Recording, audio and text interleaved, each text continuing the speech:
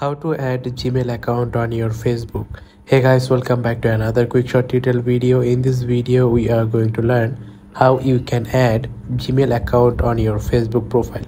It's a very easy and simple process to learn it. You have to watch this video till the very end. So first of all all you got to do you have to open up your facebook app. And after that you have to tap on this profile icon on the upper right side. And then now go to your facebook profile.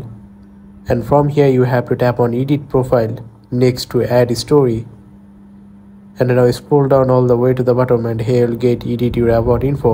Tap on it. After that you have to scroll down a little bit and here you'll get contact info.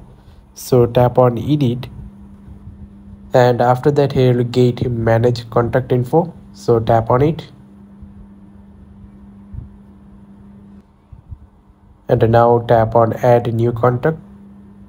And now tap on add gmail address and now here at the top you have to type your new gmail address.